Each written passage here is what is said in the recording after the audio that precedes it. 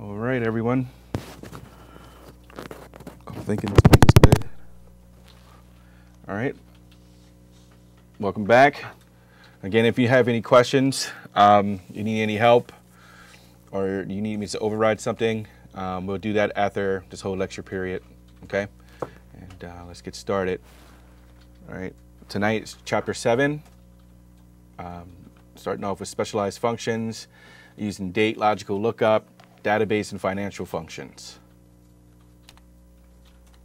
All right, the objectives of this chapter are to use the date functions, create a nested logical function, use advanced lookup functions, apply advanced filtering, manipulate data with database functions, use financial functions, and create create a loan amortization table. Sorry, that's a lot to say. All right, so we're going to get into the date functions. Um, specifically the year, frac function, days function, and use the date, year, and month functions. Right here are some examples of Excel date and time functions. Um, days calculates the number of days between two dates. Okay, um, starting with the end date and then the start date. And then year frac calculates the fraction of a year between two dates. So here they have an example um, of the days function. And you see it says equals days, the name of the function, B2, comma, B1. So it took the function from here, I mean, the, uh, the date 930 2018 as B2, B1. It took 9 uh, September 1st, two, uh, 2018 and said there was 29 days between them. Um, year fraction does the same thing. Essentially, takes two cell values and tells you the fraction of a year. Here in this case, it took B1 and B2, and said it was 3.5 into the year, or, or uh, 0.8. Why do you use these functions? I'm not sure but Excel can do that. Okay?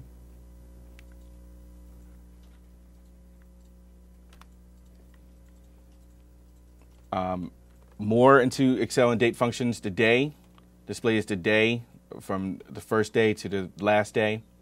See right here, it's just day and, and serial number. So here is an example of the day function. They have day, and, and the uh, the argument is just b1 and it shows that you know it's the first day based off that date in B1. Um, here again, this is day E1, and the date, as you can see, is June 30th, and this is the 30th day. All right, same thing with the month function, works the same way. Month, the serial numbers, the, uh, the argument. Here, they say equal month, and B1, and it's all that and B1 is September 1st, 2018. So the, re the result was 9. Same thing with the example here for June. And year works essentially the same way. Okay? I looked at the date in B1 and returned the year as the argument. Now we're going to move into nested logical functions um, creating a nested if function using the AND function and nest and nesting an AND function and nesting an OR or a NOT function. All right. Um, a few prior chapters before this, you started working with some if statements, and you can also nest your if statements to make a more to make a more complex formula. So here, they have this diagram to, to work it out for you before you see the actual formula. So in this example, they have a bonus amount, date and percent, and in hired before, hired on or before, hired after, based on these dates. So if you're hired before January 1st, 2010, you get a 9% increase. Hired on or before January 1st, 2015, you get 5%, or if you hired after January 1st, 2015, you get a 3%. Okay? So they need a formula to meet all these conditions, so they use a nested logical function. So here you can see it diagrammed out. So if hired before 1 1 2010, if it's true, salary increase of 9%. Now if it's false, this is where the nest, the nested function would, li- would live. So if they were hired before 1 1 2010, if false, then it asks another question. If hired on or before January 1st, 2015, if that's true, then they get a salary increase of 5%. If it's false, they get a salary increase of 3%. So that's just diagrammed out to give you an idea of how nested logical functions work. And here it is as the actual function, as the actual formula. So you see if C7 is less than C2, then it has multiplied D7 by D absolute value 2. That is this step right here, all the way up to here, if you follow this chart. If it's not true, that's where you see the nest. All right. If not true, if C7 is less than or equal to C3, multiply D7 by absolute value D3. If not, multiply by D7 to D4. All right. And you see they have that there.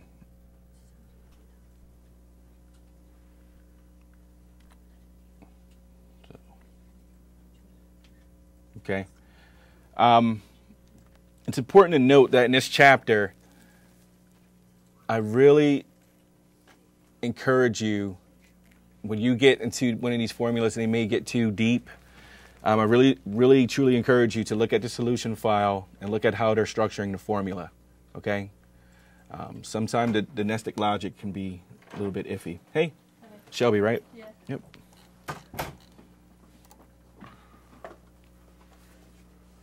All right. Now with nesting, you can use um, other operators, um, specifically AND, OR, or the NOT functions. All right, so AND evaluates to true if all conditions are true. So here's the structure of the formula. AND, logical 1, logical 2, logical 3. You can use OR. This evaluates to true if any of the conditions are true. So OR, logical 1, logical 2, logical 3. And NOT reverses the truth of the logical test. There's only one argument for not, and as you can see, it's just not, and then parentheses, the logical argument. Here's an example of the AND function. So they said equals AND, parentheses, B5, right here. So B5 equals manager. And you notice that they put the word manager in quotes because you're looking for a word. So if you're looking for a specific word, you have to put it in quotes. Then then it says D5 salary is less than to 70,000. So here they wanted to see managers who made I'm sorry, here they were trying to figure out who is identified as a manager and they make less than 70,000. So based on this formula here, they found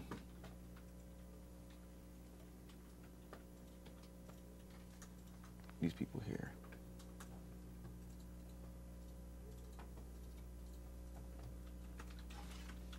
All right. Now we're going to move on to advanced lookup functions. Um, you already learned about VLOOKUP, HLOOKUP.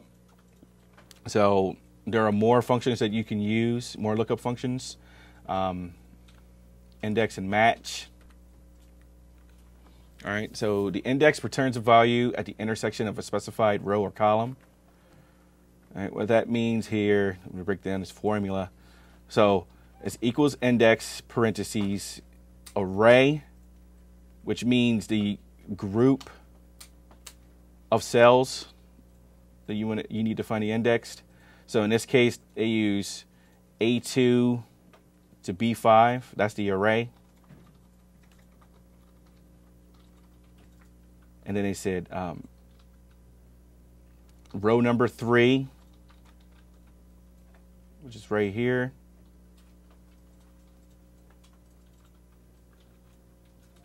And column two, or the column number, and it returned a result of 8,445 because that's the third cell at the intersection of this array.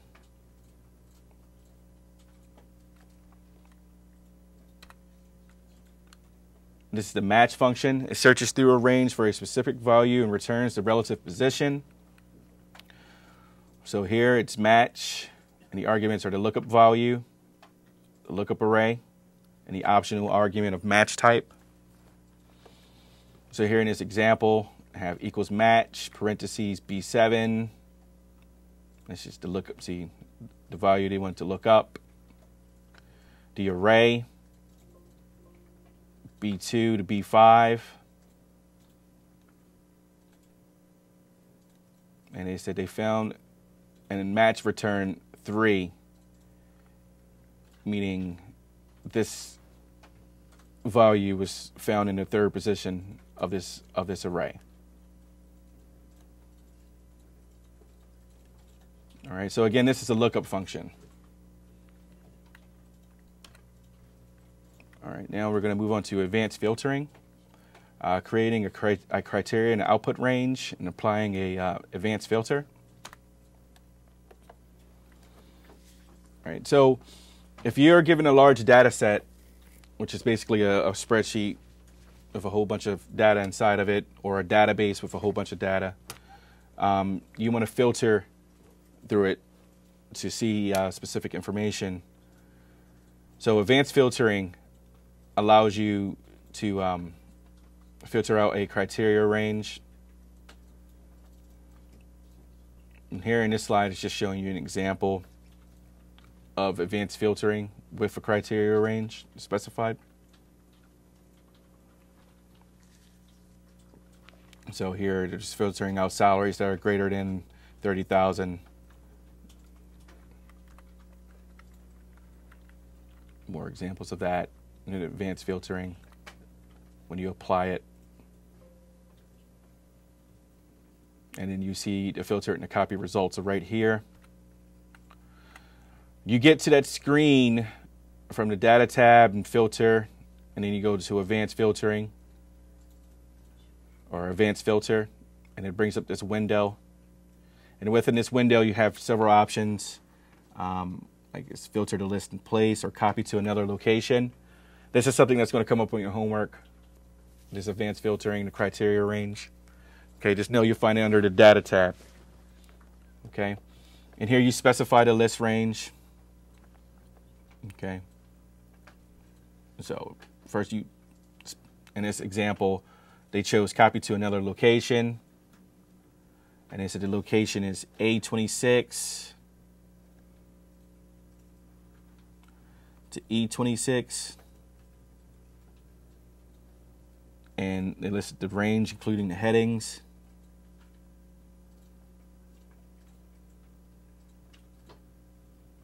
And you see, when it copied it here, it basically took the headings from up here from this data list and repeated the same headings down here into your filter criteria range.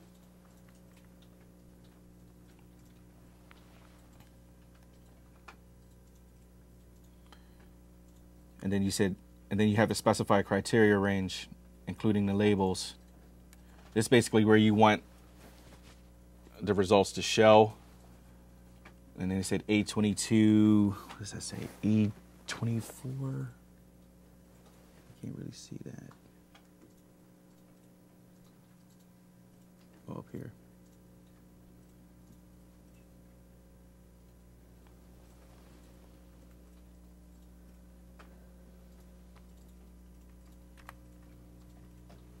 Right now, we're going to move on to manip uh, manipulating data with database functions. um, using the uh, dsum, daverage, dmin, and dmax and dcount functions. Everything begins with D because it stands for database. All right, you use these functions inside of a database. All right, the database functions has three arguments, database field and criteria. Um, database means the entire data set. Field means the column that contains the values operated on by the function. And the criteria defines the conditions to be met by the function. All right, so here are some of the database functions. dsum the values to match specified conditions. So again, database field criteria. daverage determines the average of values that match specified conditions. Same arguments, daverage equal equals daverage, parentheses, database field criteria. And dmax identifies the highest value that match specified conditions. See, equals dmax, and asks for the same arguments. Uh, more functions dmin identifies the lowest value to match specified conditions. dcount counts the cells that contain numbers that match specified conditions. Right, and this example here is an example of the dsum function. So he says, you see it says dsum a6 colon e19, which is the database. Okay, and then e6, which is the field name. And then the criteria, which is A22 to E23.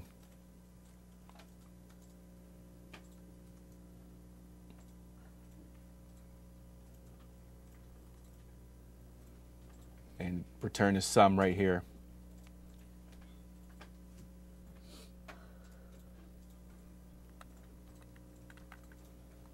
Here they have other examples of like D average, d max, d min, but they don't have the um, formula written out in this example.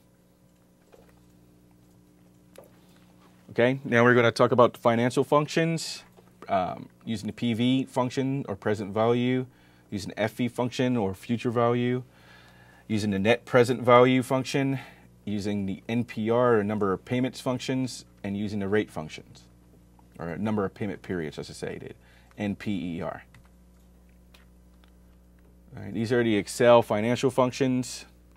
Um, PV, or present value, calculates the current value of an investment with a fixed rate. Number of payments and payments. So the formula is equals PV, parentheses, rate, number of payment periods, payment, and optional arguments, future value and type. Future value calculates the future value of an investment, giving a fixed interest rate, term, and payment.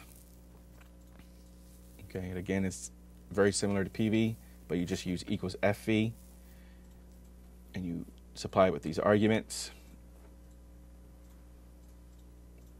Net present value cal- calculates the net present value of an investment, given a fixed rate and future payments that may be identical or different.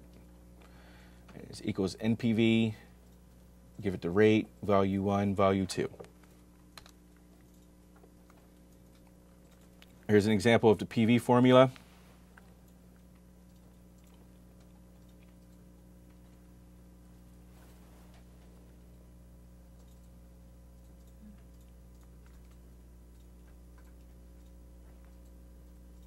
Uh, let me see, B6. So, so I took the rate B6. Payment period's 20 B5. Payment B4. Give the present value of this loan here. Here's an example of future value. You notice that the, they put negatives in front of these PVs and the FVs to make the, the figures um, positive. They did that because this is a loan. Okay. Um,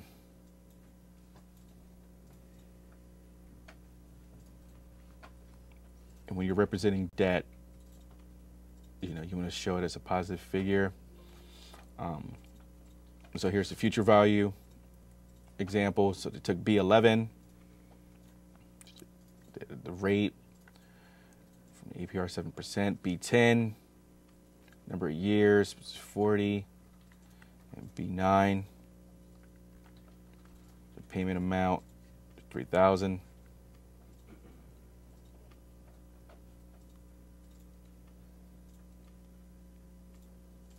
And here's an example of the net present value.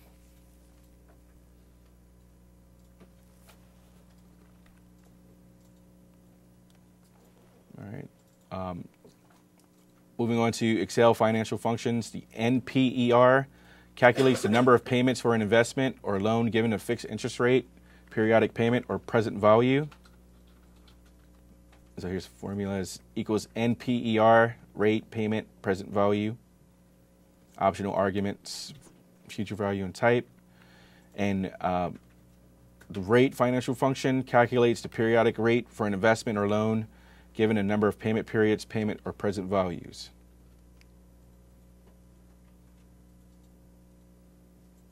So rate, number of period payments, or uh, payment, present value.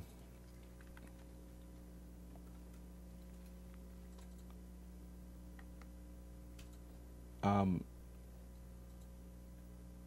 one thing to mention about periodic rate is that the periodic rate is basically taking your interest rate and dividing it by 12. Okay? And that's like every period is one month.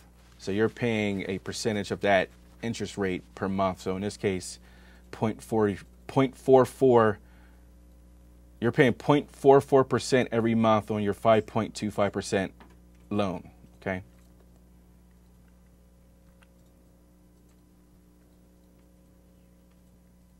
So here, you know, they took B11, which is the number of pay, payment periods, which is 12, and multiplied it by B12, which is 4.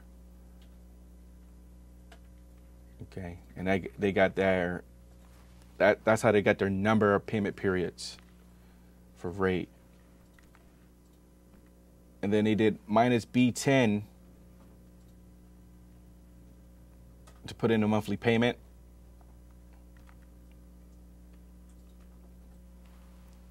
and then B9 for the present value of the loan, which is $30,000.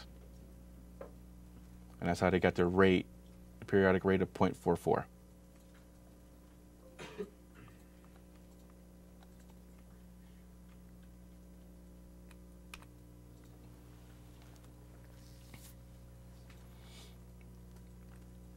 All right. Now we're going to move on to um, an um, amortization table um, using the IPMT function, using the PPMT function, and using the um, um, cumulative interest payment function. And this is the cumulative principal function. All right. Um, here's an example of the IPMT function, or the interest paid over the, the life of this loan.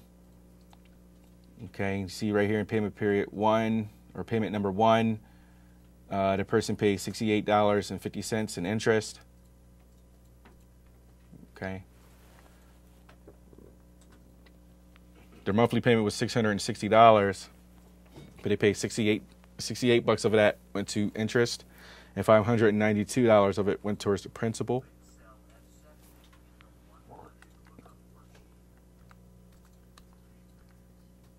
Okay. Um, IPMT calculates the periodic interest for payment for a payment period on a loan or an investment given a fixed interest rate, term of payments, and the argument is IPMT rate. Um,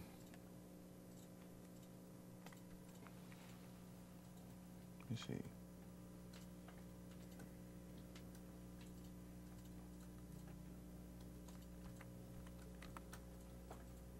A number, uh, number of payments in present value. So here in the rate, they did B3 divided by B5, which is number of payments.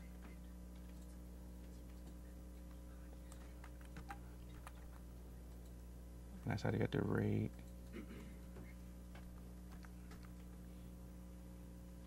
Then they took A8.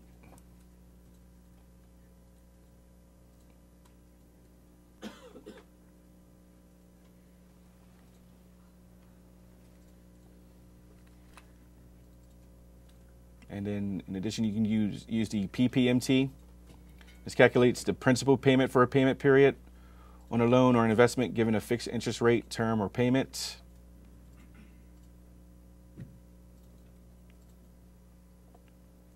Um, cumulative interest payment or CUM, IPMT. And again, I'm going to say this again. You know, I'm, I'm throwing out all these functions, right? And you see they're all different and you use them for different cases. This is where the solution file really comes into handy to look at all these functions, okay? So if you do control and the tilde, you can show formulas, all right? I want you all to know that. Um, cumulative principal calculates the cumulative principal through a specified payment period.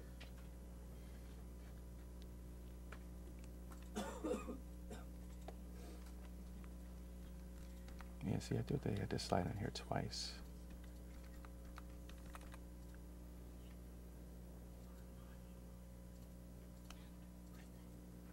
Okay, so in summary, these are the additional Excel functions. We talked about date, logical, and lookup day, day, month, and year, if and or, not, index or match. Um, database functions, dsum, daverage, dmin, dmax, and dcount.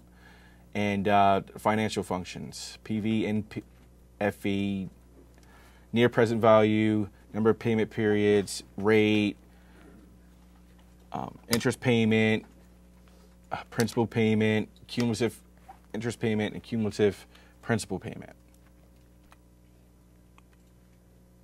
And if you have any questions, again, call me over, look at the solution file, and that's the end of chapter 7.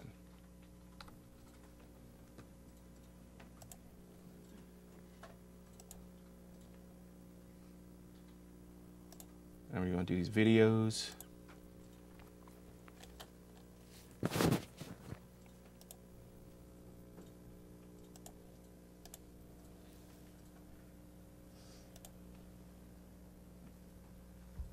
As the new accounting assistant, your goal is to overhaul the salary worksheet for efficiency. To do this, you will use date, logical, and lookup functions that will automatically determine bonus.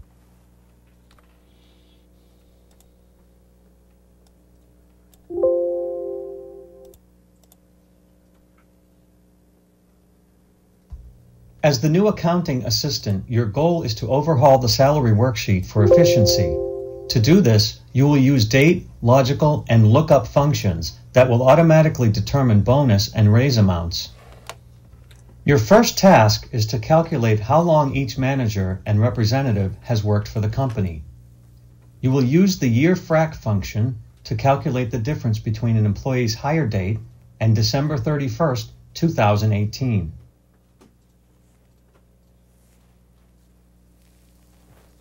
The function arguments dialog box opens for the year frac function.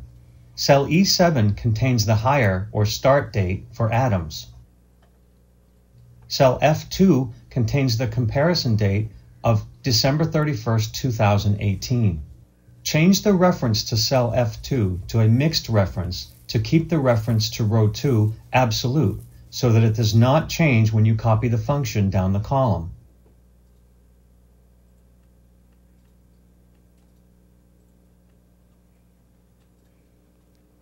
You change the result to a number format with one decimal place.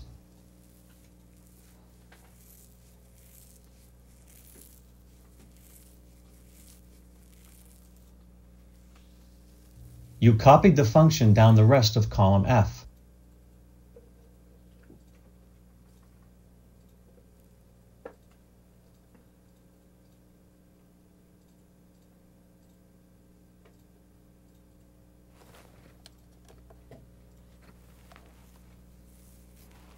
Finally, you adjusted the column width.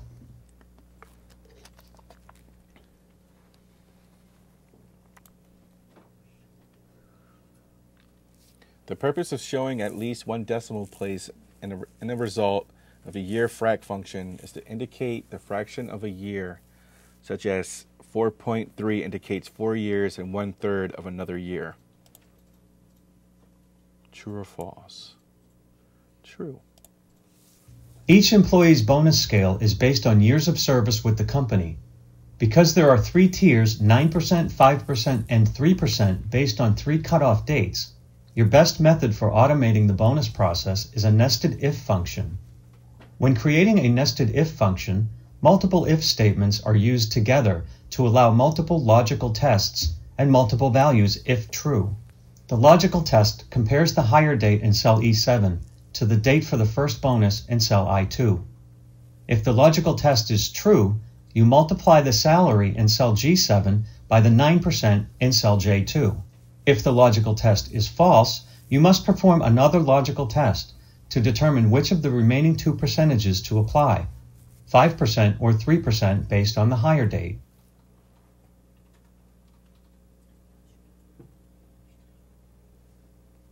After entering the function, you format the result with accounting number format with zero decimal places.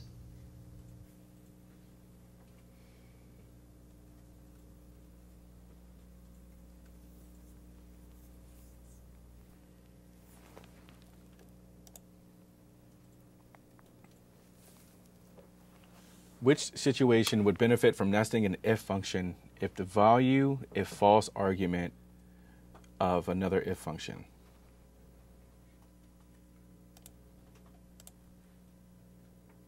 C, you want to calculate the discount where three conditions exist to determine the discount.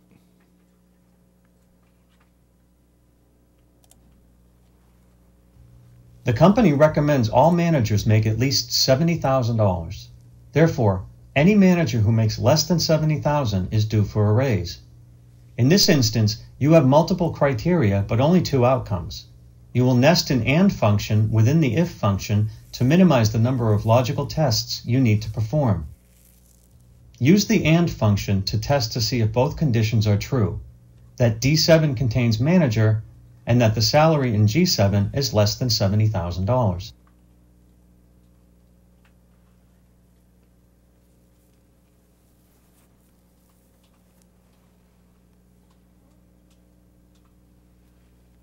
If both conditions are true, the function displays due for raise. If either condition is false, the function displays n slash a.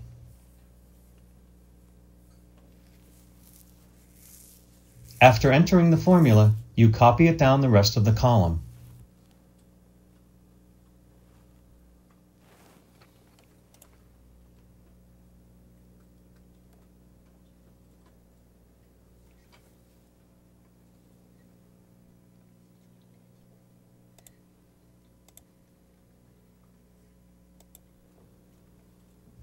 You want to provide a search feature to allow users to enter an employee number to retrieve that person's title information.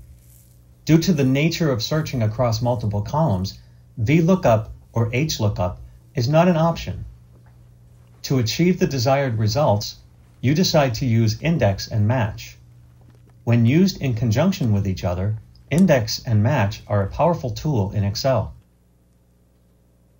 The index function is a lookup and reference function. You enter the range for the entire data set in the array argument.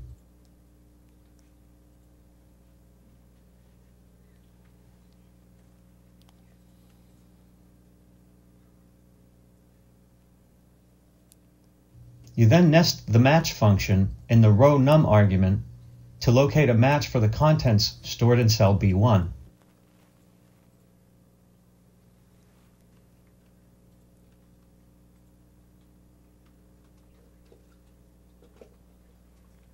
Once the match is found, Excel goes to the fourth column to return the job title. When you type 4070 in cell B1 and press enter, the index with nested match function in cell returns account rep.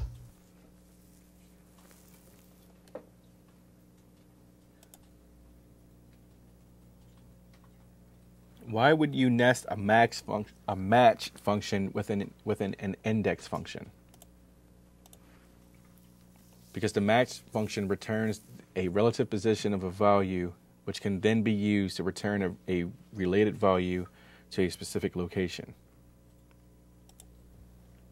The unique business needs of your employee worksheet require the use of various specialized functions nested together. Moving forward, it is important to remember that while one function may not be able to complete a task, you may be able to nest several functions together to obtain the desired result. Is anyone here doing internships? You are? Are you working with any spreadsheets or anything? Good.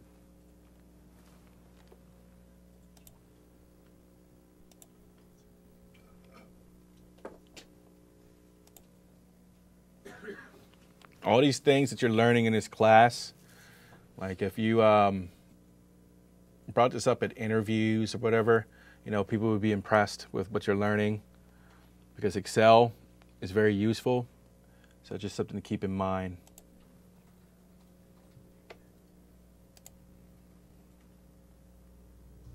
Your coworkers would like the ability to enter criteria to quickly search the dataset.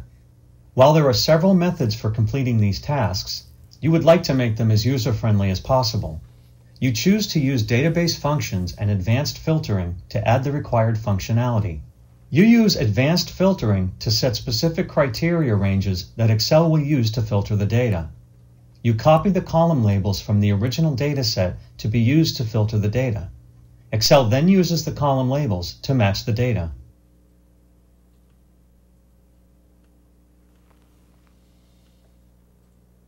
That's important when you're doing this criteria range that you copy the column labels. Okay? And you see how they said criteria range and output range? It's something a lot of students miss.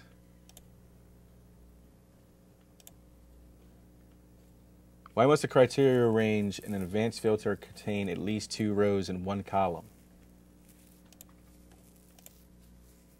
One column contains one or more field names, and the second row contains the criteria. You are ready to enter the conditions in the criteria range. You want to filter the data to show only account reps who are in Boston, so you enter the criteria in the respective cells in row 26. When an advanced filter is performed, it can either filter the original dataset or copy the dataset to a new location. Since you do not want to alter your original data, the advanced filter places the results in the output range you just created starting in row 30. The list range is the range containing the dataset.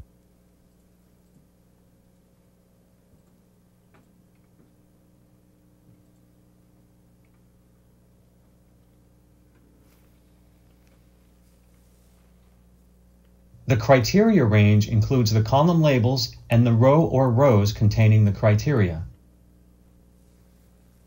The copy to contains the column labels for the output range.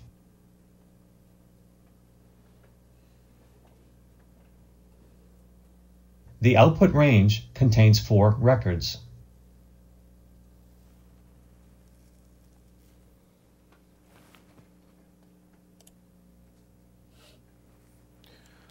What is the benefit of copying data when performing a advanced filter? All of the above. The original data set is not altered. You can display a copy of the records that meet the criteria in a different location. And you can use the criteria range to specify conditions for using database functions. Database functions are very similar to advanced filtering. The difference is that database functions have the ability to perform calculations. Since you want to determine the average of account rep salaries from Boston, you will use the daverage function to perform the calculation. You specify the range of cells that make up the list or database, the field or column that you want to average, and the range of cells that contain the criteria.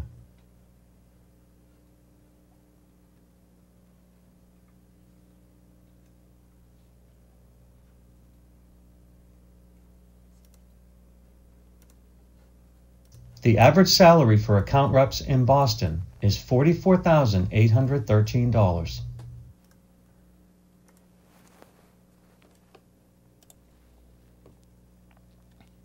Why would you use the d average function instead of the average function?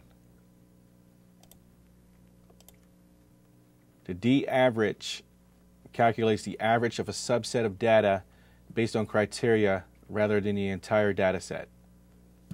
So, you know, that first argument is asking is database. That's basically, you know, you got to tell d average what um, group of cells you want it to average. Many basic functions in Excel have database function counterparts. Instead of manually attempting to determine the lowest salary, highest salary, and number of account reps from Boston manually, you use Excel's database functions dmin, dmax, and dcount.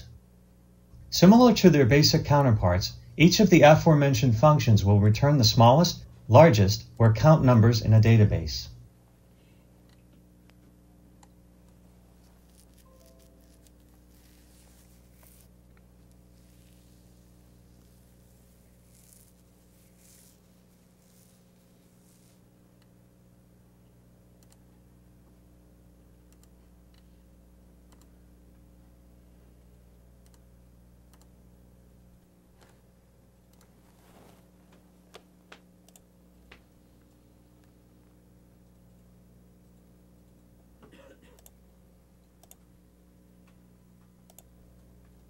Advanced filtering and database functions are an incredibly useful method of gathering information from a dataset. In your business environment, using these functions will provide the most information with minimal input requirements.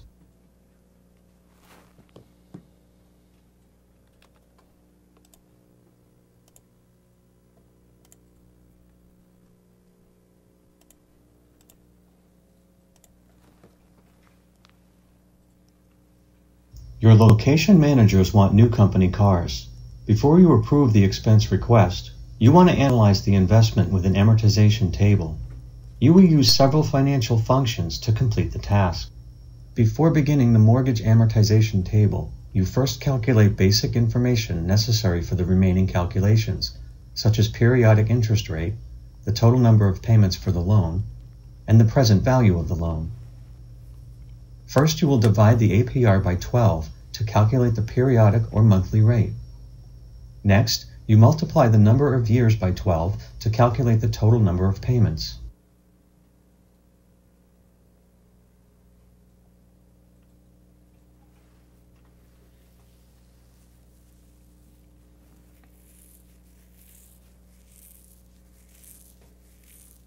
Finally, you use the PV function to calculate the present value or the amount of the loan based on four years of $450 monthly payments with an APR of 5.25%.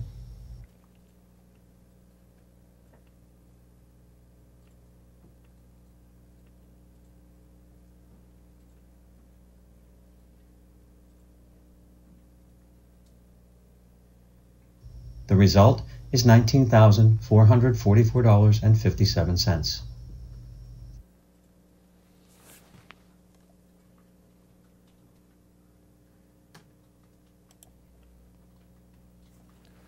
Why would you use the PV function or present value function?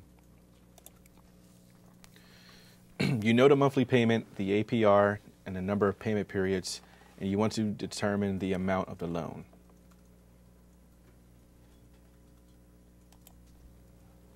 While all math in an amortization schedule can be completed manually, the IPMT and PPMT functions are more efficient at completing the calculations. You use the IPMT function to calculate interest per payment and the PPMT function to calculate the principal amount per payment. You also add summary totals to several columns. After completing the calculations, you add top and double bottom borders to the end of the table indicating the completion of the data. You enter a formula to display the cell contents of cell E2 in cell B8, the starting point of the amortization table. Next, you enter a reference to cell B2 and copy it down the column to repeat the monthly payment.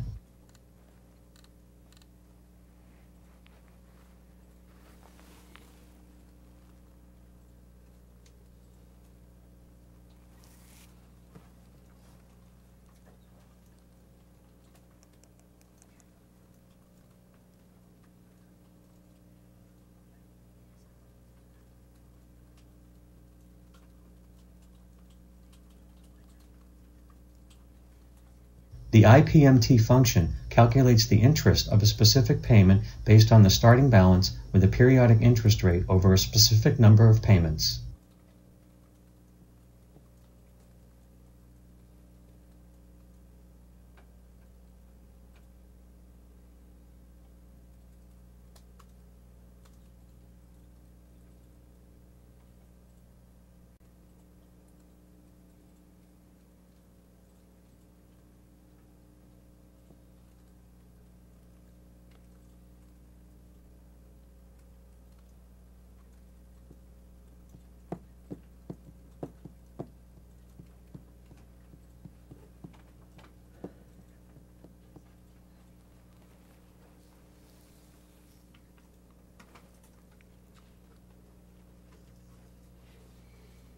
PPMT function calculates the principal repayment toward the loan.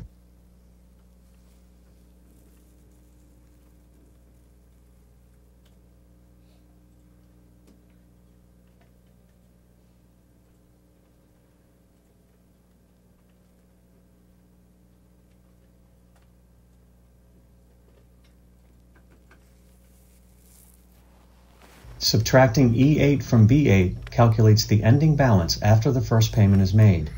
You then enter a reference to the previous month's ending balance to start the next beginning balance. Then copy the formula down the column. Copy the formula in cell F8 down the column. Finally, insert a sum function at the bottom of three columns, then apply the top and double bottom border to the range.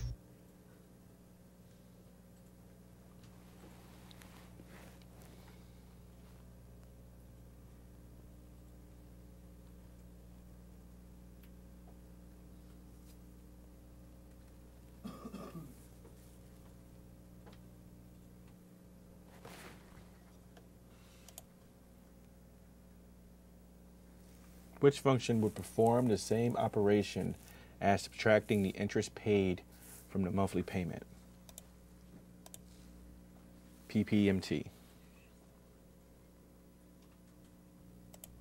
The cumulative interest payment function is used to calculate interest paid up to a specific payment. You can use this function to calculate a running total of all interest paid after each payment.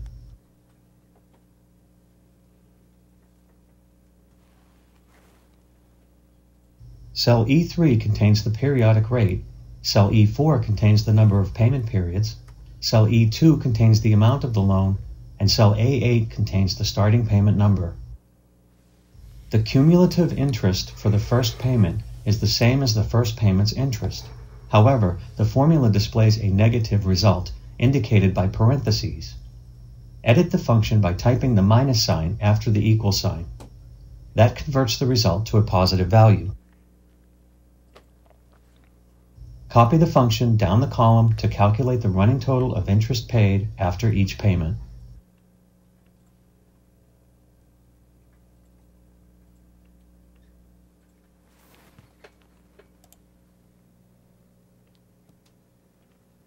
Why would you use this CUM IPMT or cumulative interest payment function within or to the side of an amortization table? To calculate the cumulative amount of interest paid after each payment. The cumulative principal function calculates the total principal paid through a specific payment in an amortization schedule. You will use the cumulative principal function to calculate the cumulative principal paid after each monthly payment.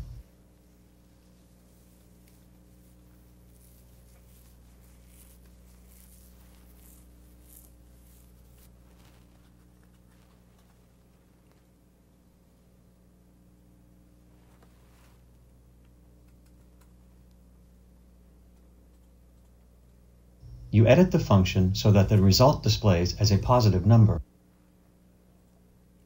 Something like this is one of the first things you see after you graduate from college is your loan table, your student loan table. Have any have any of you seen that yet already? Not yet. Then you copy the formula down the column. The last result should equal the original amount of the loan, which is $19,444.57.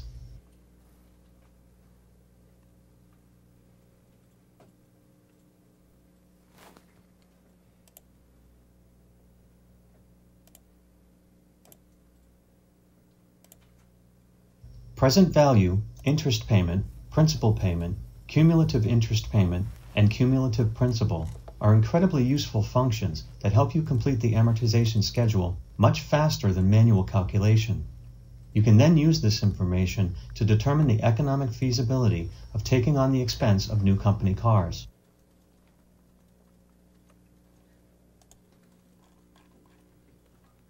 All right, that's all I have for you tonight. Jake, that's the end of recording.